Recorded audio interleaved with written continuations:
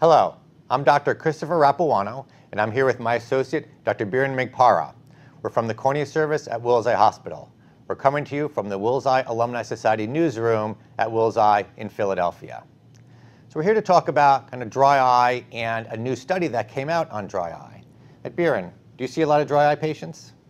Definitely, Chris. I, I would say it's probably the most common complaint people come in when they come in to see us. Now, we are cornea specialists, so it is a little self-selective, but yeah, you know, 50 to 75% of patients that come through the door have some sort of dry eye symptom. I agree, and even if they have other problems, they often have some dry eye symptoms. Just briefly, what's your kind of stepwise approach to the treatment of dry eye? I know it depends on mild dry eye and severe dry eye, but just kind of sure, in sure. summary. Yeah, like you said, I, I do tend to have a stepwise approach. So the first thing I'll start with is artificial tears, maybe preserved tears first. If, if patients have to use it more frequently than preservative-free tears.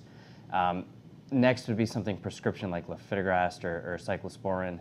Um, sometimes we use low-dose steroids in, in a limited capacity. Um, definitely want to treat the eyelids, um, treat blepharitis with warm compresses, sometimes ointments at night. Um, punctal plugs are, are little, uh, little stoppers that you put in the eyelids to, to help retain tears that you have. And then there are more um, advanced options or, or you know, patients with very severe dry eye. There are other things that we do.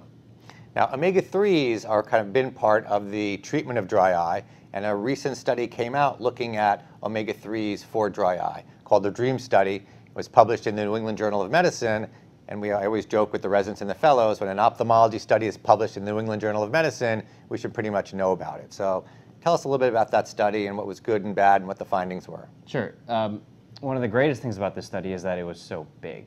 Um, it was a large, randomized, um, double-blinded study where they compared the use of omega-3 supplementation with the placebo, placebo. And the placebo that was used here is another type of oil. It was basically olive oil. Um, and what these researchers did is they compared the two groups as far as were there differences in the symptoms of dry eye and the, the signs of dry eye. And, and by signs, we mean staining of the cornea, uh, something called a Schirmer's test, um, and, and how the tears break up.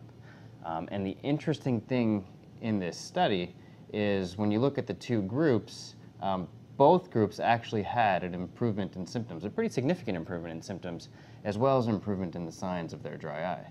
Mm -hmm. And were these patients kind of super selected, or were they kind of relatively real life patients? They were real life patients. Um, they were screened and they were found to have moderate to severe dry eye.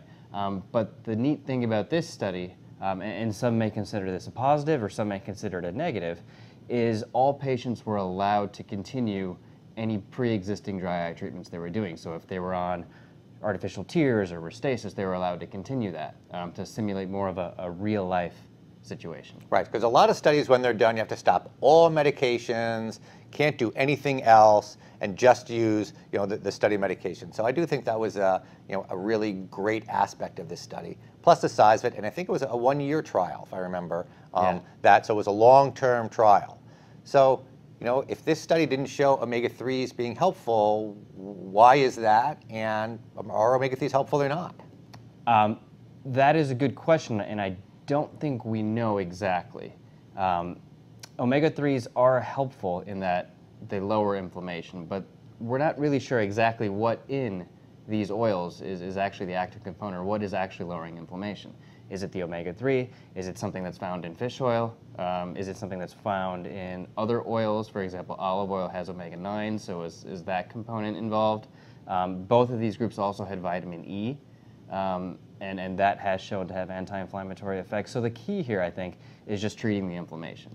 Okay, now whether it's omega-3 or some other oil, we don't really know. Um, but I, in my practice, I, I would still recommend omega-3 supplementation to patients. It's something that's easy to do, it's easily accessible, you can go to the drugstore and get it, um, relatively inexpensive, um, and, and relatively minor side effects. Right, and it comes in both uh, naturally, as in you know fish, especially uh, you know fish diet. It comes in you know certain has uh, seeds and nuts. Um, I think salmon has you know high, yeah. high uh, omega-3 and, and, fish oil content. Get it in lots of different pills, and it other has has other benefits too, other health benefits. Yeah, exactly. There's cardiovascular benefits. Um, some say it decreases symptoms from arthritis, joint pains, aches, Right, may help with memory loss, who knows? So Exactly. there, there are other benefits to it. So I, I agree. I prescribe, you know, whether it's, a, whether it's a Mediterranean diet type of kind of, you know, high in omega-3 and fish oils and things like that, I think it's helpful not only